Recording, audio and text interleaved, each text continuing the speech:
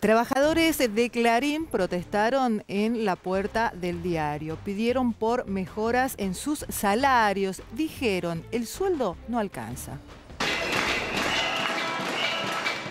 Luego de varias medidas y sin obtener respuesta por parte de la empresa, los trabajadores del diario Clarín realizaron un cacerolazo en la puerta del edificio de la calle Tacuarí en reclamo por recomposición salarial. La empresa no reconoce al nuevo sindicato, eh, con lo cual eh, firmó una paritaria con la UDBA, que es un, eh, un, sindicato que responde a las patronales y que por tercer año consecutivo firmó la peor paritaria del país. Nosotros no podemos permitir que la empresa y el diario, que reconoce en su tapa una inflación interanual de superior al 47%, pretenda que nosotros eh, nos quedemos con un sueldo eh, que se licúa con eh, esta paritaria que pretende darnos entre un 27 y un 25% en tres cuotas para 13 meses.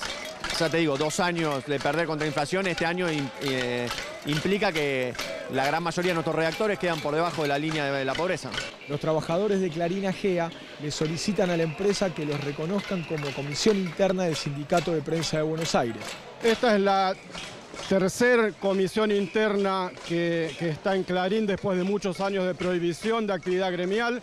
La semana que viene tenemos el miércoles elección de una nueva comisión interna y la estamos haciendo bajo CIPREVA, el nuevo sindicato de prensa de Buenos Aires, que sí representa a todos los trabajadores de prensa y que surgió desde la actividad gremial de los propios trabajadores.